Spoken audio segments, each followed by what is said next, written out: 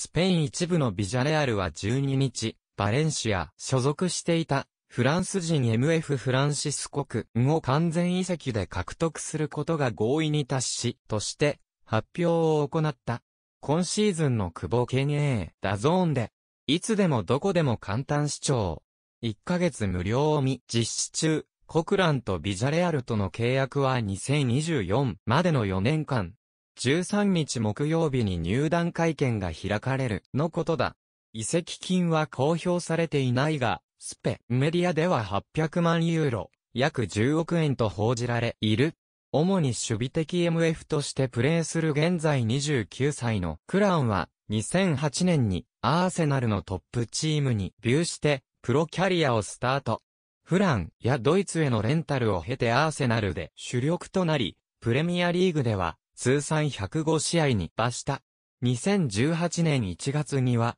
バレンシアへ移籍し、2年半の席でリーガエスパニョーラ61試合、公式戦89試合出場。2018、19シーズンには、コパデルレー、スペー、国王杯優勝のタイトルも獲得した。ビジャレ、ルにとっては、レアル・マドリードからのレタルで加入した日本代表 MF、久保健英に続いて補強となる。さらに、バレンシアの首相を務めいたスペイン代表 MF らに、パレホもビジャレ、ルエの移籍が決定間近だと報じられている。